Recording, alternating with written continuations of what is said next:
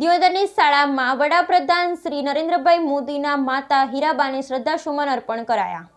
દેશ અને દુનિયામાં આગવી ઓળખ ઊભી કરનાર દેશના પીએમ નરેન્દ્રભાઈ મોદીજીના જીવન કવન ઘડનાર સ્વ હીરાબાએ આજે વહેલી સવારે અંતિમ શ્વાસ લીધા હતા. આજે નરેન્દ્ર મોદીના માતા હીરાબા પાર્થિવ દેહ પંચમહાભૂતોમાં વિલીન થયો છે. ત્યારે દેશ અને ખાસ કરીને ગુજરાતમાં શોકની લાગણી ફેલાઈ છે.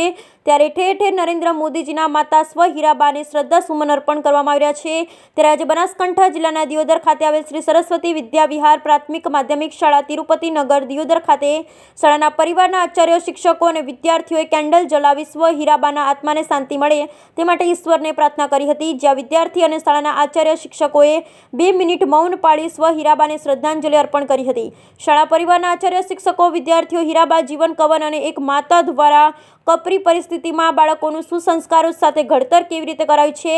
આ માટે શાળા આચાર્યો અને શિક્ષકો દ્વારા હીરાબાના જીવન કવનની વિશે વિદ્યાર્થીઓને માહિતીપ્રદ કર્યા હતા. જ્યાં નરેન્દ્રભાઈ મોદીજી જેવા સારા દીર્ઘદ્રષ્ટો દેશને પીએમ મળ્યા છે, દેશના ભારત ભાગ્ય વિધાતા બન્યા છે. Bureau report Baldevrao મેરાજંગ news, Deodar.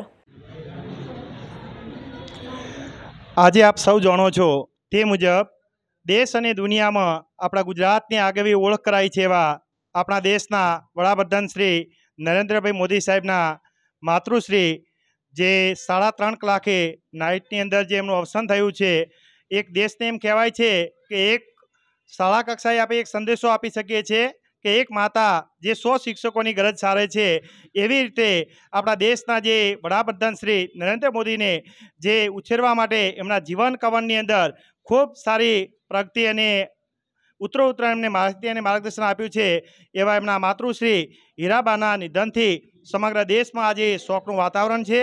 અને આપ દરેક બાળકોથી કહી અને સમગ્રને એમ કહીએ છીએ કે જે એક માતા જો પોતાના બાળકની અંદર જો સુસંસ્કાર પીરસવા જાય તો એમનું બાળક